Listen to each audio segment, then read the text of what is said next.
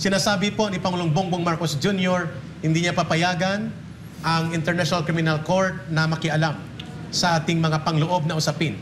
Tungkol po ito sa pangingialam nila, tinahabol nila si Pangulong Duterte tungkol sa kanyang ginawang war on drugs. Ah, sa inyong mga dat, mga kongresista na marubdob din yung ah, isinusulong ang laban kontra sa illegal na droga at kriminalidad.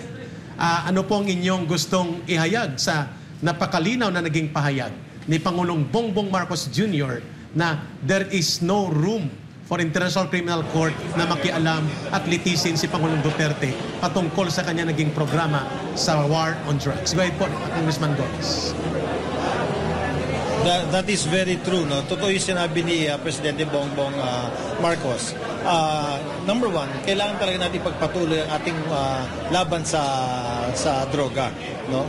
Uh, pangalawa, wala talagang jurisdiction ng ICC dito sa ating uh, sa ating bansa. So kailangan na uh, i-out na muna natin sila. Huwag silang makialam dito sa atin. Correct. Meron tayong uh, justice system na tumatakbo, umiiral at uh, maayos ang ginagawa nila. So let us uh, support our judicial system. Uh, let us continue our anti-drug uh, campaign programs for this country.